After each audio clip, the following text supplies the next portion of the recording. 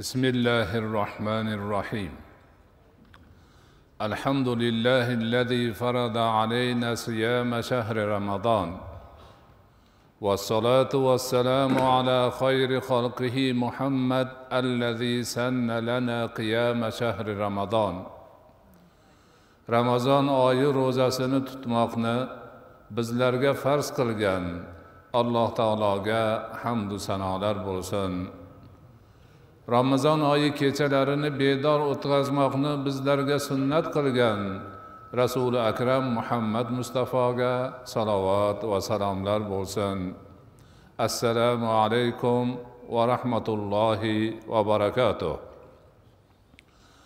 Alloh subhanahu va taolo buyuk ramazon oyining kunduzlarida iymon e'tiqod bilan savob umidida tutayotgan ro'zalarimizni dargohida qabul aylasin. Bu tutgan ro'zalarimizni barcha gunohlarimizning kechirilishiga mag'firat qilinishiga sababchi aylasin. Va bu ro'zalarimizni oxiratda barchamizga shafoatchi bo'lib qo'limizdan tutib jannatga olib kirishiga sababchi qilsin alloh taolo bu muborak ramazon oyining kechalarida bedor bo'lib taroveh namozlarida o'tkazayotgan xatmi qur'onlarimizni dargohida qabul aylasin.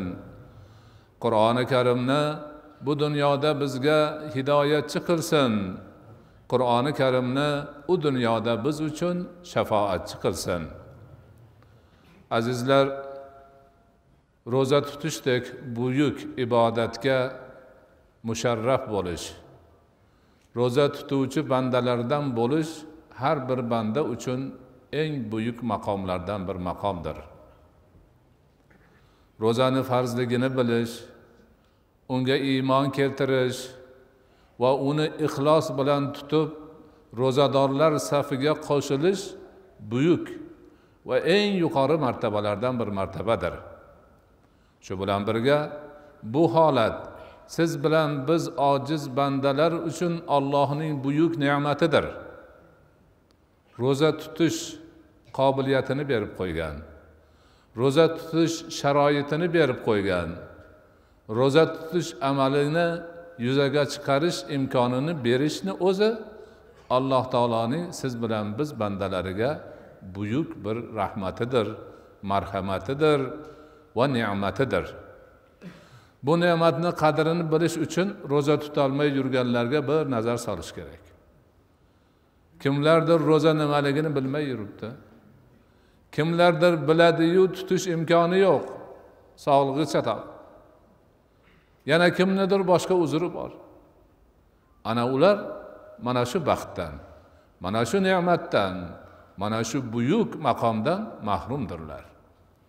Shuning uchun biz tinchlikda omonlikda xotirjamlikda ro'zamizni yaxshilab tutish imkoniga sazovor bo'lganimiz kechalari mana bundoq chiroyli shaklda bo'lib bedor bo'lib qur'onni xatmida ishtirok etishimiz buyuk g'animat ekanligi ulkan ne'mat ekanligi baxtimiz saodatimiz ekanligi nafaqat bu dunyoning baxti balki oxiratni ham baxti saodati ekanligini tushunib yetishimiz kerak. Ana shu e'tibordan ro'zamizni sifatini bedorligimizni sifatini darajasini ko'tarib borishimiz kerak.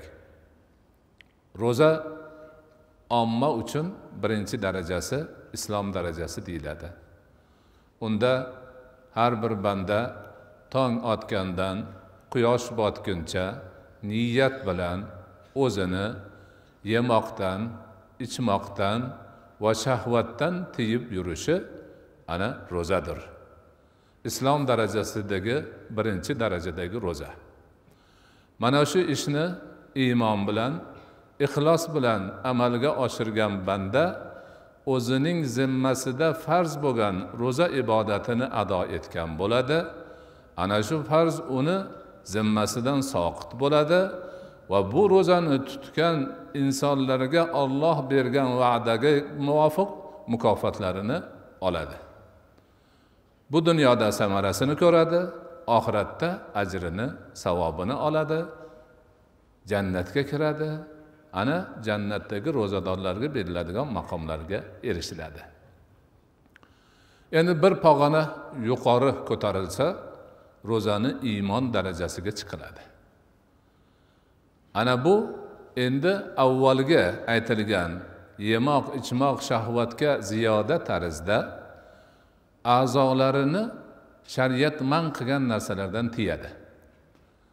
Ro'za tutib yemay ichmay shahvatga berilmay yuribdi ko'zi bilan harom narsani ko'rishdan tiyiladi.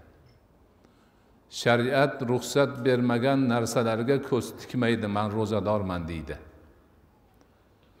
Og'zi bilan shariat man qilgan gaplarni gapirmaydi so'kinmaydi g'iyvat qilmaydi yolg'on gapirmaydi chaqimchilik qilmaydi beodob gaplarni gapirmaydi. Ana hammasi ro'zani sifatini yuqori bo'lishiga sabab bo'ladi. Burni bilan shariat man qilgan hidlarni hidlamaydi. Qulog'i bilan shariat harom degan makruh degan ovozlarni eshitmaydi. Ana mana shularni hammasi ro'zani iymon darajasiga ko'taradi. Avom darajasidan xoslar darajasiga ko'taradi. Buni ajri ko'p bo'ladi savobi ko'p bo'ladi xayri ko'p bo'ladi barakasi ko'p bo'ladi. Yana himmat qilganlar yana g'ayrat qilganlar ro'zani cho'qqisiga chiqishi uchinchi pog'onasiga chiqish imkoni ham bor. Bunda birinchi ikkinchi darajadagi ro'zalarni to'la to'kis ado qilishi bilan birga u bandani qalbi ham ro'za tutadi. Ya'ni qalbida ollohdan boshqa narsani zikri qolmaydi. Butun qalbi bilan ro'za tutish davomida faqat olloh deydi olloh uchun yuradi olloh uchun turadi ollohni deydi.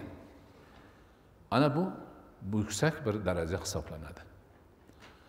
Ozmi ko'pmi? Mana shu narsalarda odamlarimizda bor. Oddiy holatda har holatda yurganlar ro'zada to'g'rilanib qoladi. Sergaklanib qoladi. Yolg'on gapirmay qo'yadi. Birovga ozor bermay qo'yadi. A odamlarni so'kmay qo'yadi.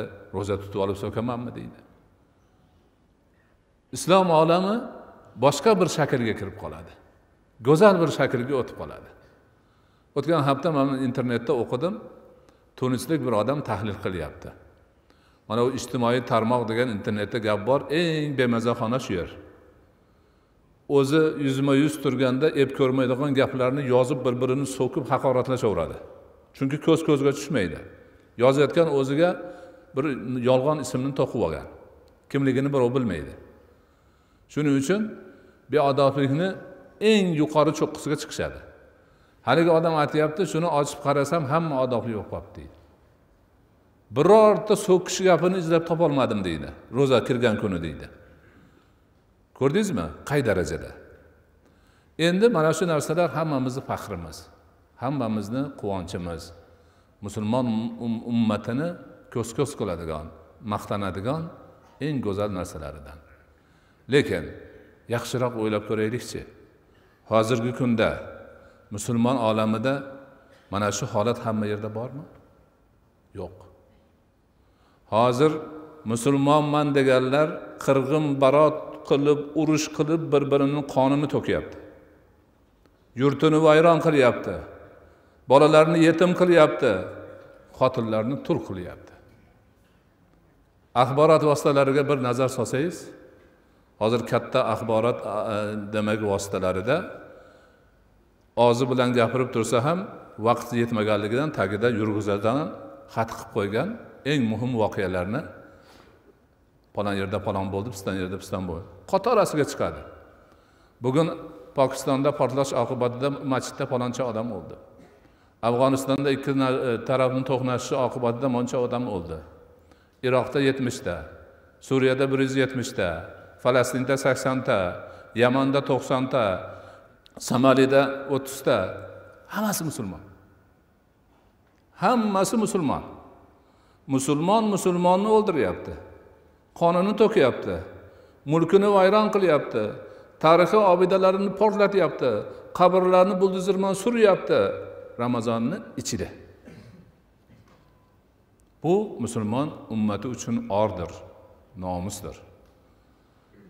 Musulmon emaslar avval man o'qib turdim ramazon kelyapti ajab emas mana u urushayotgan musulmonlar tinchib qolar deb yozishib turuvdi. Endi bularga ramazon ham ta'sir qilmaydi ekan deb yozishyapti. Qirg'in barot urush bo'lyapti musulmon olamida. Liviyada bir biri bilan bo'g'ishyapti. Mana o'tgan hafta tunisda otishma bo'lib bir necha askar bir necha qurolli o'ldi. Jazoirda shunday bo'ldi. Saudiyada chegara punktiga hujum qilishdi qoidani odamlari. Chegarachilarni o'ldirishdi. O'zlaridan uchtasi o'ldi. Ikkitasi qochib borib bir yerga kirib oluvdi. Qamal qiluvchida o'zlarini portlatishib yubordi ro'zani ichida uch kun oldingi gap. Bu musulmonlarga obro' emas. Yana musulmon o'lyapti musulmon o'ldiryapti musulmonni mulki xonavayron bo'lyapti musulmonni bolasi yetim qolyapti musulmonni xotini tul qolyapti vatani vayron bo'lyapti. Taraqqiyot yo'q tinchlik yo'q omonlik yo'q. Ana shular maza qilib ro'za tutyapti deya olamizmi birlashgan millatlar tashkilotining bolalar bilan shug'ullanadigan bo'limi yunisef uch kun to'rt kun oldin e'lon qildi. Odamlar yaxshilar e'tibor beringlar. Suriyada olti million go'dak yordamga muhtoj. Olti million. Ba'zi bir davlatlar bor olti yuz yetmish ming odami bor sakkiz yuz ming odami bor. Olti million. Unaqa davlatlardan oltitasidan ko'prog'ini aholisi go'dak. Uch yosh to'rt yosh bolalar besh yosh bolalar. Shularga non beringlar suv beringlar deyapti. Ramazonni ichida. U suriyaliklarni boshqalar kelib urayotgani yo'q bolalarni o'sha o'zlari suriyaliklar bir biri bilan urushib qilyapti unisi ham musulmon bunisi ham musulmon. Bu narsa bir joyda emas ikki joyda emas.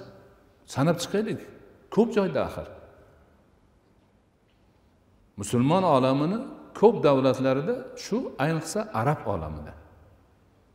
Arab olamida mana shu holat. Ikkovi ham musulmonman deydi ikkovi ham namoz o'qiydi ro'za tutadi bir birini o'ldiradi. Bir rassom shu ma'noni ifoda qilaman deb masxara bir rasm chizibdi. Ikkita arab arab kiyimida qo'lida katta katta to'qmoq.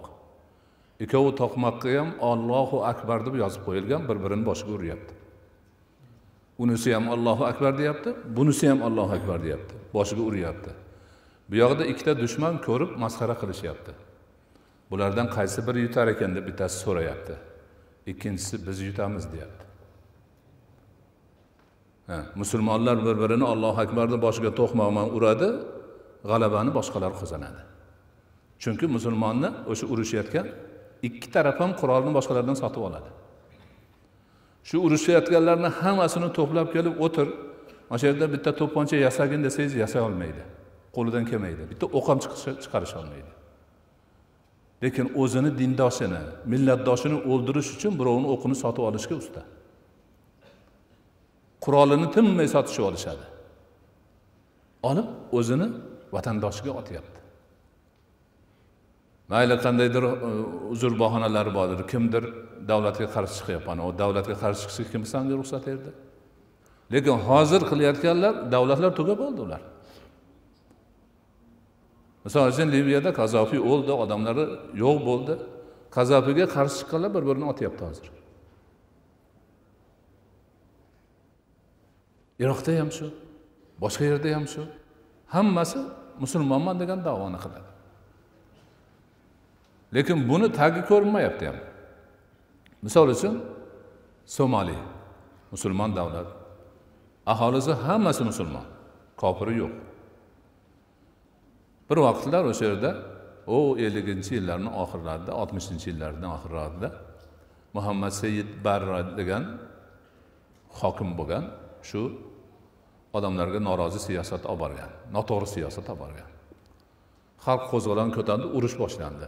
Bir necha yillar urush bo'ldi. Keyin bir ming to'qqiz yuz to'qson birinchi yili u qochib ketdi. Uni quvishdi boshqa bo'ldi. Shu to'qson birdan hozir yigirma uch yil bo'ldi. Uni quvganlar bir biri bilan urushyapti. Hali bu urushni oxiri ko'rinmaydi. O'sha to'qson birinchi yilgi tug'ilganlar bugun qurol olib bir birini otyapti. Meros qoldi urush ularni otasidan bobosidan. to'qson to'rtinchi yili katta konferensiya bo'ldi. O'sha yerda shu masala ham ko'rildi. Mana somalida to'rt yil bo'lib qoldi. Endi o'sha vaqtda to'qson bir to'qson to'rt. Urush bo'lyapti shularni bir yarashtirish kerak bir hay'at saylaylik deb hay'at saylandi. Hay'at mani o'zlariga boshliq qilib saylashdi. Bordik yamanga bordik undan jibutiga o'tdik undan somaliga. Samolyot hech narsa yo'q. Haligi qochoq samolyotlar ro'yxati yo'q samolyotlar odamlarni tashiyapti borib samolyot e, yerga qo'nsa atrofida odamlar turibdi mollar o'tlab yuribdi. Hech narsa yo'q. Urushda vayron bo'lib ketdida hech narsa qolmadi. Bordik gaplashdik unisi bilan gaplashdik bunisi bilan gaplashdik. Bir muhammad farah idid degan general bor edi. Shu boshliq ko'pchilik nima qilgan u bir e, baydavo degan shaharda ekan unga bordik. Va yarashinglar xudo xayringlar bersin. Hammanglar musulmonsizlar bo'pti. Marhamat biz tayyormiz. Unisiga borsangiz u ham tayyormiz deydi. Yarashamiz deyishdi biz kelgandan yana boshlashdi urushni hozirgacha shu. Hozirgacha endi ular urush hayot kechirish tarzi bo'lib qoldi ularni. Eshitgan bo'lsanglar kerak somaliylik qaroqchilar degan chiqqan. Qaroqchi yigitlar qurol bilan kemani ustiga chiqadida qurolni o'qtalib kemani to'xtatib kemani egasiga bizga million dollar berasan bir yarim million dollar berasan. Ular voydod musulmonlar bizni u qildi musulmonlar bu qildi islom shumi deb ular dod soladi. Bular qo'yib yubormaydi keyin haligi bir million yarim millionni berib kemasini ozod qiladi. Qilgan ishlari shu. Ilm yo'q ma'rifat yo'q tinchlik yo'q omonlik yo'q bir birini hurmat qilish yo'q. Mana mana shunaqa narsalar tarqab ketyapti. Endi mana shu narsalar o'zlari urushgani yetmay o'zgalarni chorlash ham bularga ish bo'lib qoldi. Boshqalardan o ollohni yo'lida kelinglar savob bo'ladi. Agar kelmasang gunohkor bo'lasan do'zaxga tushasan deb kallasi yaxshi ishlamaydigan odamlarni aldab dinni o'rtaga qo'yib chaqirishyapti. Borib u haligi ketayotgan tushunmaydi borib kim bilan urushadi? Borib o'ziga o'xshagan musulmonga o'q otadimi? Shuni bir o'ylab ko'rmaydi. Ketadi ketyapti. Mana bir e, ulamolarimizdan qo'shni davlatlarda sherigim og'aynim aytib beryapti. Bir yigit boy badavlat ota onasi bor bola chaqasi bor hamma yo'g'i joyida. Hamma yo'g'ini sotib ketibdi. Yo'q otasi ham bilmaydi onasi ham bilmaydi xotini ham. Ketibdi. Ota onasi shikoyat qilib kelibdi domla bizga yordam bering bolamiz mana shunaqa qildi undoq bo'ldi bundoq bo'ldi. Yaxshi telefoni bor ekan telefonini qilsa olibdi. Gaplashib biz shunaqa urushga keldik. Hozir qo'shni davlatda harbiy tayyorgarlik ko'ryapmiz dedilar keyin haligi domla aytdi ey ahmoq san nima qilishingni bilasan oqibati nima bo'ladi hozir? Qayerga borganingni tushunasanmi? Kimga o'q otasan kimni o'ldirasan? Qanaqa savob olasan? Es joyingni yiqqinda tezga qayt orqangga. Yo yaxshi qaytib kelibdi bunaqa holatlar ko'p. Ular halidaqa chaqiradi odamlarni. Kelinglar jannatni eshigi ochiq turibdi sizlarga. U bo'ladi bu bo'ladi. Ana u internetdan chaqiradi twitterdan chaqiradi telefon qiladi boshqa qiladi o'zini elchilarini yuboradi odamlarni kallasini aylantiradi. Bittasi chaqiryapti. Shunaqa u uyda bu uyda anavi mana uyda tezda borish kerak desa unga qarshi bo'lgan odam e buni gapiga quloq solmanglar bunga aytinglar agar borish kerak bo'lsa nimaga o'g'lingni yubormayapsan? deylar deyapti. U ham kasb bo'lib qolgan saudiyani muftiysi abdulaziz oli sheyx nido qilyapti. Ey mana shu urush noto'g'ri hech kim bormasin bolalaringni yubormalaring. Voy chaqirayotganlar sanlar chaqirma noto'g'ri ish qilyapsan. Bu musulmonchilikka to'g'ri kelmaydi deb gapirib gapirib kelib turib bittasi deydi shunaqa qilib hammani chaqiribdi deydi. Odamlarni boringlar savobga qolasizlar u bu deb juda qattiq targ'ibotlar qilibdi. Otasini targ'ibotidan qiziqib ketib o'g'li ham ketib yuboribdi o'g'li ketib yuborsa kelib hukumatga mani o'g'limni olib kelib berlaring dermish man bilmay qolibman ketib qolibdi o'zini kasbi odam chaqirish. Mana bunaqa nomardlar bor. Sodda odamlarni yuborib uch to'rt so'm topar nimadir obro' topar nima qilar? O'zini o'g'li ketib qolsa hukumatga kelibdi. Saudiyani hukumatiga kelibdi. Muftiyni gapi bu. Mani o'g'lim o'sha yoqqa ketib qolibdi o'sha olib kelib beringlar emish ha o'g'ling ketsa ta'sir qilar ekan boshqasini o'g'li ketsa nimaga uni san u yoqqa yuborasan chaqirasan? Shunaqa bo'lavergandan keyin hozir saudiya hukumati qonun chiqardi. Kim nima qilib bo'lsa ham o'shanaqa urushga borib qatnashsa ushlab yigirma yildan o'ttiz yilgacha qamoq jazosi deb hukumatlar majbur bo'lyapti shunaqaga. Mana bunaqa narsalar kimga kerak? Kim foyda oladi bundan? Mana musulmon olamini musibati shu yerda hozir. Hamma yerda ramazon sharif urush. Bir birini qonini to'kyapti bir birini uryapti qiryapti. Katta katta shaharlar yonib kul bo'lyapti portlab parcha parcha g'isht parchaga aylanyapti. Bolalar haligi holatda. Qachongacha bunaqa bo'lishi mumkin? Ana mana shu narsalarni tushunish kerak. Uch to'rt kun oldin bir yigit man o'zim chaqiruvdim bir gap bor edi kelib o'tirib gaplashib turib mani savolim bor. A bir ushur to'g'risida savoli bor ekan uni berib javob olgandan keyin yana savol bor. Nima savol? Hozirgi mana bu bo'layotgan musulmon olamidagi urushlarga qaraymiz? Bittasi xalifaman deyapti bittasi shiyani ur deyapti bittasi sunnani ur deyapti. Biz biz qanaqa bo'lamiz? Bizni munosabatimiz qanday bo'ladi? Hozir hammamizni xayolimizda shu gap. Bizni munosabatimiz qanaqa bo'ladi? O'shani aytyapti. To'g'ri aytyapti u o'sha so'rayapti mani biladi deb o'ylab to'g'ri javob olsam kerak deb so'rayapti. To'g'ri qilyapti shu. Shuni so'rash kerak u yoqdan telefon bo'lsa qopni ko'tarib ketaverish kerak emas. To'xta bu o'zi shariatda bormi yo'qmi? Bo'lsa nima bo'ladi? So'rash kerak. Keyin man aytdimki bularni hammasi shunaqa. Bir biri bilan urush dardiga giribtor bo'lgan. Anavi xalifaman deganlar avval qoidani a'zosi edi bular. Keyin al qoidadan ajrab chiqib o'zlari iroq va shomdagi islom davlati degan tashkilot tuzdi. Bu tashkilot borib qilgan ishi suriyani hukumatiga qarshi urushganlar bilan urushdi. Gapni qarang endi. Qirg'inbarot urush qilishdi. Ya'ni unisi ham hukumatga qarshiman deydi bunisi ham hukumatga qarshiman deydi ikkovi bir biri bilan urushyapti qirg'inbarot urush bo'lyapti.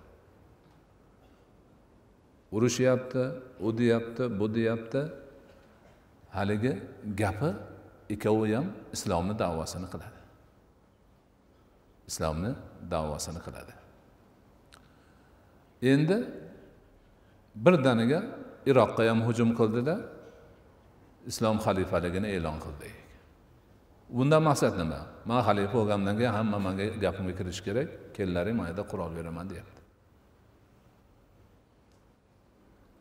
O'sha kuni shu gap tarqadi ertalabdan axborot vositalarida boshqalarda. Ertasiga man saharlinqi bo'lib kompyuterimni ochdim kelsam ochsam xat kelibdi manga. Xat dunyo musulmonlar musulmon ulamolari birligi tashkilotidan kelgan. Man o'sha tashkilotni a'zosiman. Kotiblar kengashini a'zosiman. Shuning uchun nima chiqsa birinchi qatorda manga keladi. Biz o'ttiz kishidan ortiq a'zo bormiz bizga yuborishadi. Shunda o'sha butun dunyo musulmon ulamolar kengashini raisi shayx yusuf abdulloh qarzoviy va tashkilotni bosh kotibi ali muhiddin qoradog'iylarni imzosi bilan kelyapti. Anavi iroq va shomdagi islom davlati deb o'zini nomlab yurganlar kechagi xalifalikni e'lon qilishlari shariat bo'yicha botildir. Bu bu mutlaqo bo'lmagan narsa. Bunaqa ishni qilishga hech kimni haqqi yo'q. Ular kim bo'pti deb nima desa deyapti. Hech kim bularni gapiga quloq osmasin. Bularni gapiga kirmasin. Bunaqa ishlarni musulmonchilikda e, ahlul hilli val aqd ya'niki to'planib hammasi yechib mazmunni qilib katta ulamolar rahbarlar birgalashib ovozga qo'yib hal qiladi buni. Kim ko'ringan ko'chadan turib baqiravermaydi bunga hech musulmonlar aldanib qolmanglar deyapti. Ularni davosi haligi mana mana shunaqa narsalardan biz nihoyatda ehtiyot bo'lishimiz kerak. Hozir o'rta osiyodan ketganlar bor. Ketdi. Borib olib o'sha yoqdan telefon qilyapti.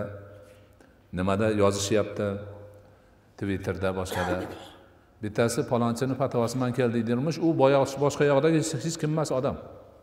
O'shani fatvosi bilan borganmiz.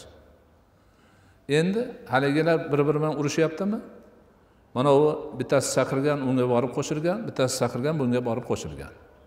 Endi o'tgan haftada tahlilchilar yozyapti o'rta osiyodan kelganlar ikki guruhga qo'shilib olib bir biriga qarshi o'q otyapti deyapti. Bizdan ikkita odam ketgan bo'lsa bittasi borib bu guruhga qo'shilgan bittasi bunga qo'shilgan.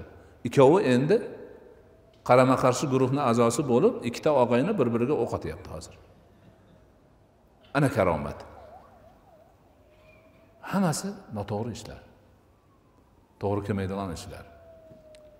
Buni hammasini hal qilish tinch yo'l bilan hal qilish osoyishtalik bilan hal qilish musulmonlarni foydasiga burish taraqqiyot uchun ravnaq uchun xalq el yurt baxti uchun demak ishga aylantirish kerak. Bu tinch yo'l bilan bo'ladi. Mana urush bo'lib hech foyda topmayapti. Man aytyapman mana somalida o'ttiz yildan beri urushishyapti og'ir ko'rinmaydi. Afg'oniston necha yil bo'ldi? Urushyapti tinmaydi. Bular ham shu. Bular ham shu. Bir joy tindi. Checheniston. Checheniston nimaga tindi? Checheniston katta ulamolarni gapini quloqqa oldi. To'planib biz aytdik. Oy shu ishni qilmalaring. Yaxshi bo'lmaydi. Mana shuncha xalqinglar vayron bo'ldi yurtinglar vayron bo'ldi odamlar o'ldi. Bundan ko'ra sizlar tinchlik sulh tuzinglar. Rossiyani ichida turib tinch omon yashab katta bir davlatda turib o'zinglarga ham musulmonlarga ham foyda beringlar. O'sha maqsadda man urush bo'lib turgan vaqtda ikki marta kelib ketganman chechenistonga.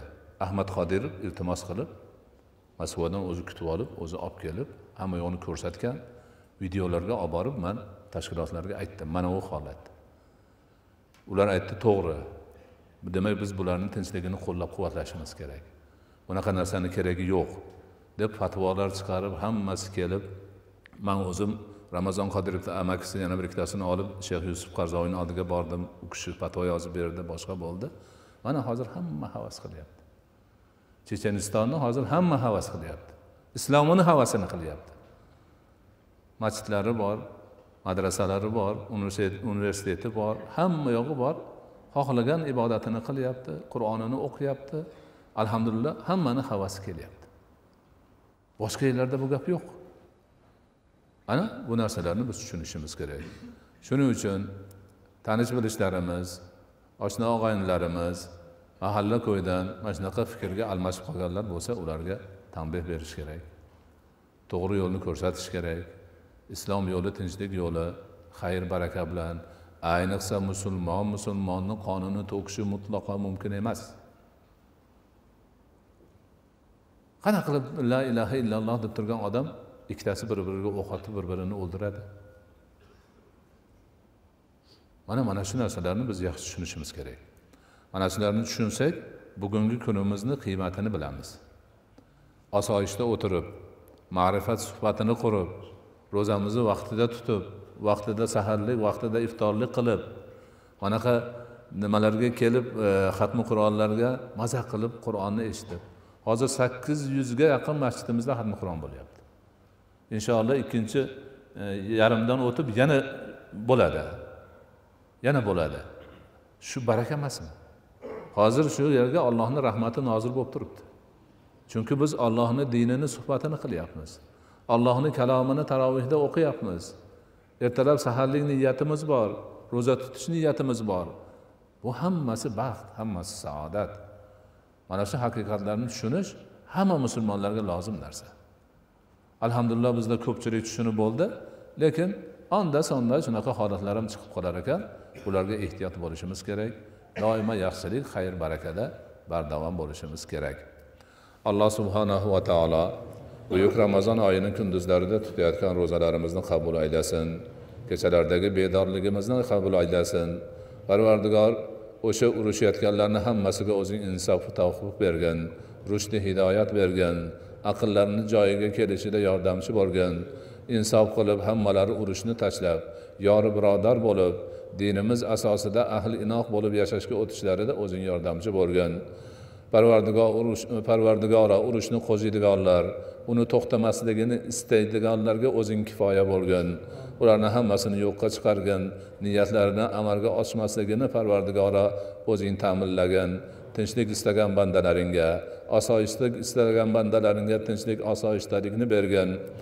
Parvardigora o'zingni ibodatingda sobit qadam bo'lishni nasib etgin. Siroti mustaqimda barqaror qilgin. Barchalarimizga iymon halovati ibodat halovatini bergin. O'zingni roziligingni topib ikki dunyoning baxtiga saodatiga musharraf bo'lishimizda o'zing yordamchi bo'lgin. Va sallallohu taala ala xayri xalqihi muhammad va ala alihi va ashabihi ajmain. Bi rahmatika ya arhamar rohimin